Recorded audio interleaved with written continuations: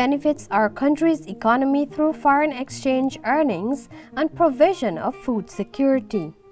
However, there are many challenges that farmers face in rice cultivation, especially dealing with pests.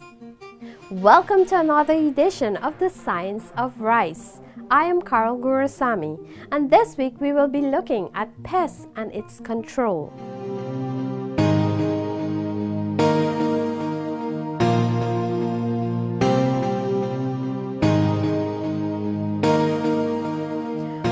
50 invertebrates are known to affect rice crop in Guyana. They can launch their attack as soon as seeds are sown to the day it is being harvested. However, these invertebrates are grouped according to the stage of crop that they affect. Yes, we have the water weevil for our early season pests, foveolatus, the leaf miner, Hydrellia species, the caterpillar, Spodoptera frugiperda, and the snail Pomacea species.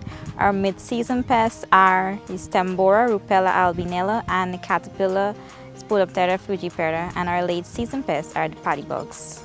If you have a general knowledge of how these pests can affect your crop and the early signs of infestation, then control can be simple.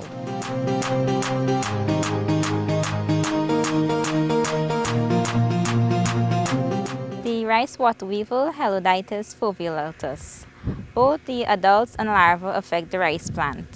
The larvae feed on the root results in, and results in stunted growth and this affects the leaf where you will see yellowing of the leaves.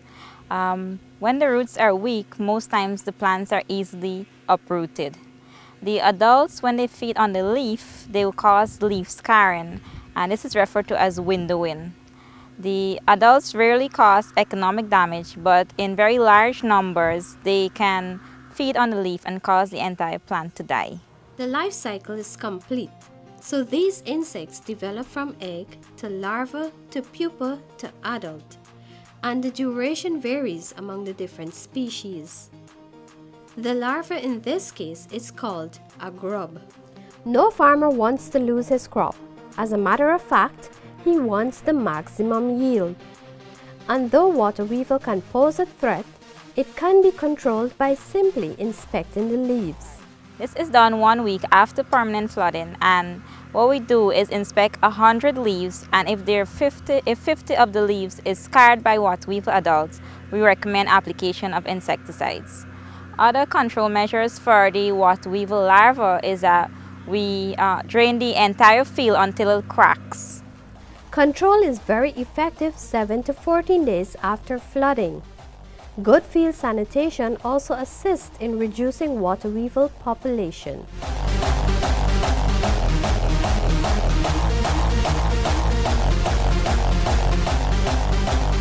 Leaf miner is another pest which affects the rice crop in its early stage. The larva cause the most damage.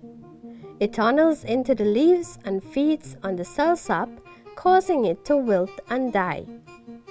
This can cause reduced tillering and stunted growth, which delay panicle initiation may occur. This is where we usually recommend draining the field to provide a poor habitat for leaf miner population buildup. Or if um, the leaf miner damage exceeds threshold, we recommend using a systemic insecticide such as Pronto Actara.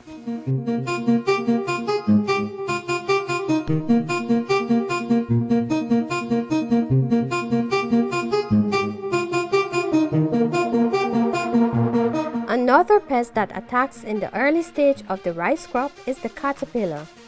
These pests can also linger in the mid-season if not controlled effectively. The caterpillar Spodoptera frugiperda. Caterpillar normally feed on the leaves and what they do is cut the leaves. Um, some control measures for this would be to plow deeply during land prep or when the caterpillar damage exceeds the threshold which is 30 damaged leaves per meter square. Um, we recommend spraying of a contact insecticide such as Fastac, Pestac, etc. However, the cultural method of controlling caterpillar is flooding the field 24 to 48 hours.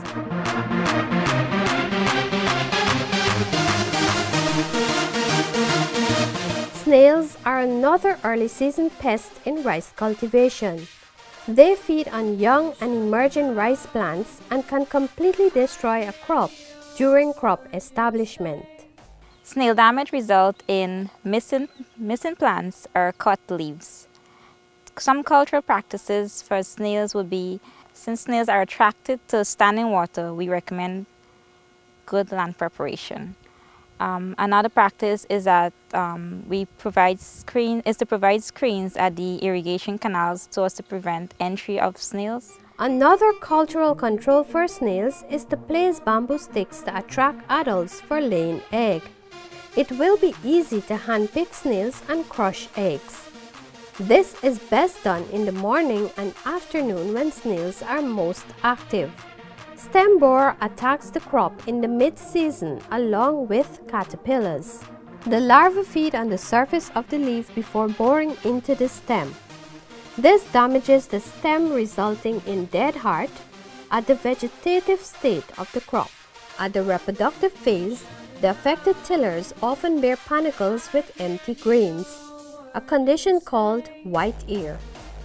The tunneling of the larva also weakens the stem, resulting in lodging. Good field sanitation plays an important part in the control of stem borer. Avoid high nitrogen rates. Synchronize planting, and if the threshold reaches or surpasses the rate, apply contact and systematic insecticides. Another improved practice in which you can implement into preventing early and mid-season pests is by treating the seed paddy before sowing. What we mean by treating the seed is to chemically treat the seed. In this case, we are using insecticides. And there are a number of insecticides that can be used. But common in all these in insecticides that, that are being used at present is this active ingredient, fipronil. So once you treat the seed and you sow it in the field, water weevil cannot affect it. Additionally, the young plant, as, as, it's, as it's growing, the young plant will not be affected by, by leaf miner, caterpillar, stem borer.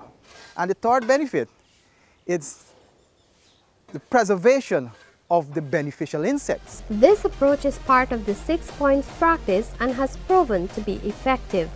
It is also being adopted rapidly by farmers throughout the rice growing regions of Guyana. In terms of seed treatment, you, you the plant like about 30 to 35 days, you don't spray. These practices are all effective and can save your crop. It will benefit all farmers as they harvest high yields in the end of each crop. Paddy bugs are the most dangerous pest in rice cultivation. These little creatures are also known as Gandhi, stink bug, or bush bug and belong to the true stink bug family.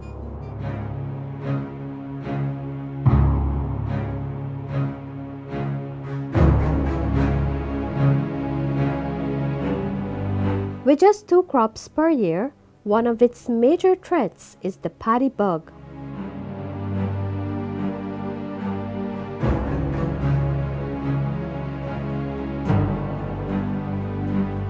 It is one of the most important pests in rice cultivation. Paddybug damage is both qualitative and quantitative. It is a major pest because of the extensive damage caused by both the nymphs and adults. When the nymphs and adults feed on the grain, during the milk stage, they extract the milk, leaving win paddy or empty grains. When the paddybug adults and nymphs feed during the dough stage, the result is grain discoloration or pecky rice. These bugs will attack during the flowering stage of the crop, but there are other factors which can cause these bugs to infest a crop at an earlier stage. There are three main factors responsible. The double cropping system and asynchronous planting. Generally, Guyana has two rice crops sown every year, and the planting is asynchronous due to constraints such as availability of machines. The effects of these factors are twofold. First, the presence of the crop all year round provides a continuous supply of food resource for the bug. This also means that it, was be, it would be difficult to synchronize control effects between farmers. Second factor is alternative hosts. Alternative host provides the source of food for the paddy bug when the crop is not in the susceptible stages. Paddy bug would feed on the grass seeds on the meres, canals, dams, bonds, on the volunteer rice and red rice, which will mature faster than the rice crop. The third factor is the routine use of pesticides. Pesticides are used routinely to control paddy bugs among other insect pests. It can be expected that these routine applications will have a negative impact on natural enemies of the bug. The paddy bugs undergo incomplete metamorphosis. The adult paddy bug can live up to 37 days. The female bug can lay 10 to 200 eggs in one generation. These eggs take 2 to 3 days to hatch, and the nymphs 15 to 17 days to mature, and the cycle continues. There are two species of paddy bug found in Guyana, the Oebalus poecilus and the Oebalus ypsilongriseus. Each crop can be affected by one or two generations of paddy bugs and the remaining generations feed on alternative hosts. Some of the common alternative hosts of paddy bugs in Guyana are the birdseed grass, flower grass, bamboo grass, antelope grass, sour grass, razor grass, the busy busy grass, and trench weeds. Chemical spraying should be the very last resort in paddy bug control. There are other control methods under the Integrated Pest Management Approach IPM. These are cultural control, monitoring, and biological control. Cultural control includes timely sowing which prevents paddy bug generations from spilling over to the next crop. All farmers should sow at the same time, especially neighboring farmers. If this becomes a culture among farmers, paddy bug infestation will decrease. Proper field sanitation aids in the reduction of alternative food source. Meres, dams, and canals should be kept clean. Field should be rolled of volunteer rice and red rice. Monitoring plays an important part in the IPM approach as well. Monitoring is the way in which an insect population and factors influencing it can be observed. There are two major uh, roles of monitoring. One, to give early warnings of the presence of the pest so that early action can be taken. And two, to evaluate ongoing crop protection strategies. This allows farmers to react to the developments in the field by modifying his actions. Monitoring should be done regularly with frequency increased at times of crop susceptibility. Biological control is nature's way of controlling paddy bugs. There are a wide range of predators, parasitoids, and pathogens which are important natural enemies to paddy bugs and friends of the farmer. The reason why we're calling them beneficial insects is that they predate on these other pests in the field. So they're the natural, they're natural control in, for, for these pests in the field, especially, especially in the case of paddy bug. Once, you know, for example, the ladybird beetle, it predates on the egg uh, of the, of the paddy bug. Some of the other beneficial insects, they, they, they, they would eat or they will feed on, on, on the nymphal stages of the paddy bug. The spider, in the case of the spider, when that, that, when that spread its web and cover the field, it actually captures the adult, the adult form of the paddy bug. So these these beneficial insects are very useful in terms of assisting in the control of, of pests. In the rice field ecosystem, they are natural enemies of the paddy bug. For example, the dragonflies, damselflies are a member of the Odonata order. Lady beetles, ladybugs, or ladybird beetles, whatever you may know them as, are among the most visible and best known beneficial insects. There are over 450 species and many are found right here in Guyana. These beetles are well known as good insects. Most are beneficial to man and friends of farmers. So if you ever see one of these insects in your garden or field, welcome it, as you will now have a friend to protect your crop from pests. And lastly, the chemical control of paddy bugs. How you would know when chemical application needs to be done. If a hundred sweep is made in the, in the rice field um, and you have 50 and over paddy bugs, like in this case, spraying should be done. Um, this is a measurement for Pronto for one motor blower. The recommended number of motor blowers per acre is two. Um, so we use 7.5 grams for one blower and 7.5 for the other blower. 7.5 grams. So this would be the recommended um, amount for one blower, which would cover half of an acre. First step is rinsing the blower.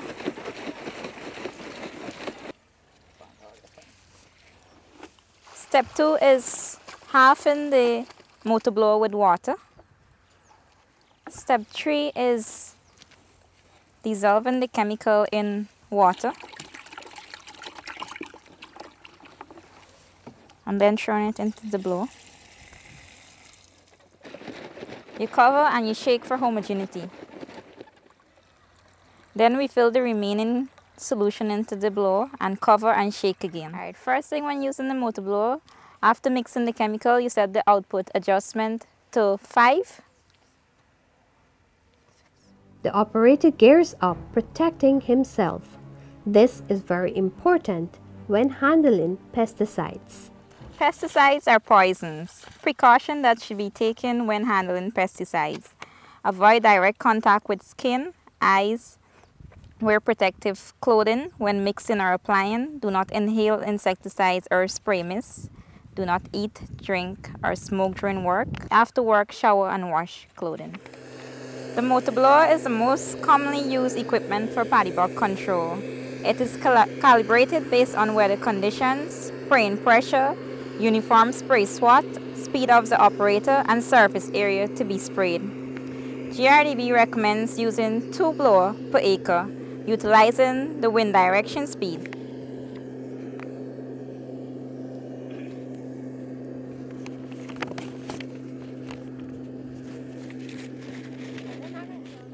To get coverage, we recommend farmers walk 11 steps apart so that the mist from the blower would overlap. Note the direction in which the extension tube is held. Um, no swaying is done while operating the blower, no swaying of the extension tube that is.